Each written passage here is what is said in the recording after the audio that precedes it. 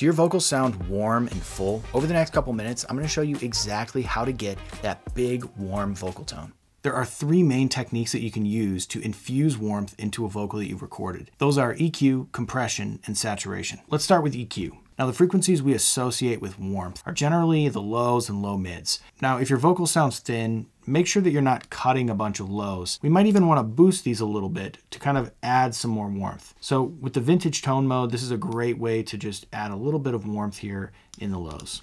I wish that I could go back in time and tell myself.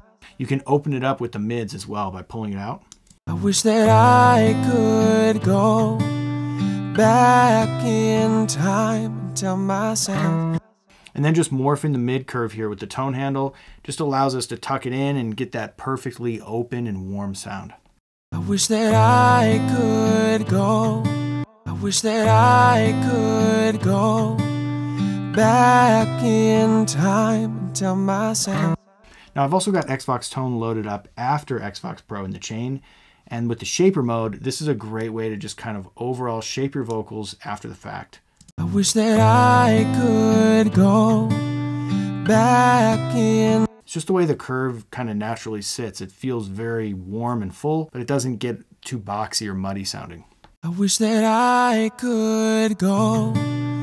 I wish that I could go so let's flip back to Xvox Pro in our chain and let's talk about the next step, which is compression. Now, depending on the compressor that you're using, you can actually infuse a little bit of natural warmth. So Opto and FET and Smooth are pretty natural. VCA and FET is gonna be a little bit more aggressive. Vox Bus is gonna be a little bit more gentle, but Tube plus FET is actually gonna add a little bit of saturation and warmth that you're just gonna naturally get with a tube style compressor. And when we compress with this, we're gonna notice some of that warmth coming out, but we can also infuse a little bit more with the color here. So we're gonna turn the comp color up and get even more warmth out of this compressor.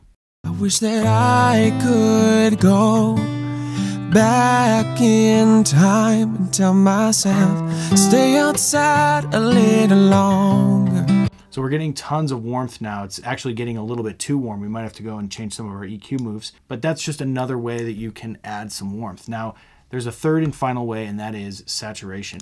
And in Xvox Pro, you've got Tape Sat.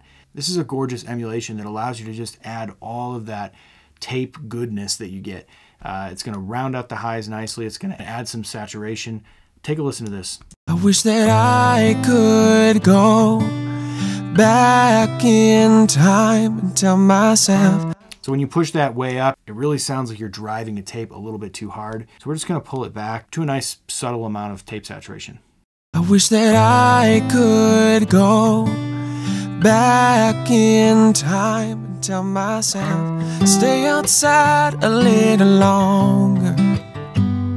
Now you don't have to do all of these every time. You can use a combination of these different techniques and find the one that works best for the vocal you're working on. But this is just three different things you can try whenever you want to add a little bit more warmth to a vocal. Before we wrap up this topic, there's one more important tip that doesn't have to do with mixing, but actually has to do with tracking, and that is the proximity effect. The proximity effect is when you get exaggerated lows when you stand close to a cardioid pattern microphone. Now, more than likely, your microphone that you're using for vocals is a cardioid pattern, and that directional pattern means that when you get closer to it, you're gonna get more exaggerated low end.